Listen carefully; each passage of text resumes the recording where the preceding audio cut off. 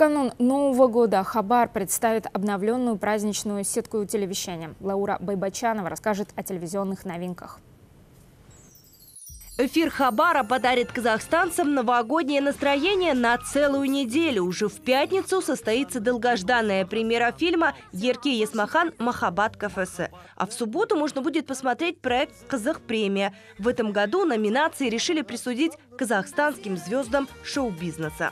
Программа «Казах Таймс» – это такая очень известная программа. Буквально недавно э, творческий коллектив этой команды э, наградил э, своих основных героев, которые участвовали в этой программе.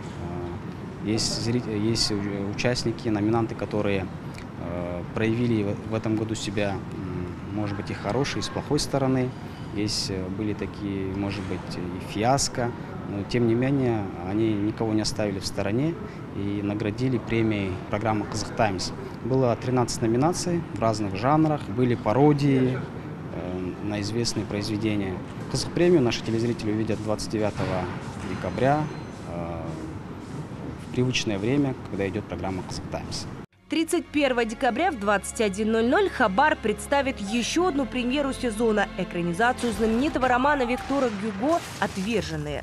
Этой осенью э, мы специально полетели в Канны, чтобы проговорить э, с каналом BBC о эксклюзивном показе на территории СНГ этого сериала. То есть мы первые в СНГ показываем его совместно с каналом BBC.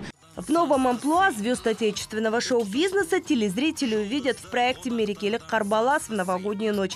А 1 января праздничную программу продолжат сразу два музыкальных проекта «Кош келдің жаңа жыл» и «Жаңа жыл кештері».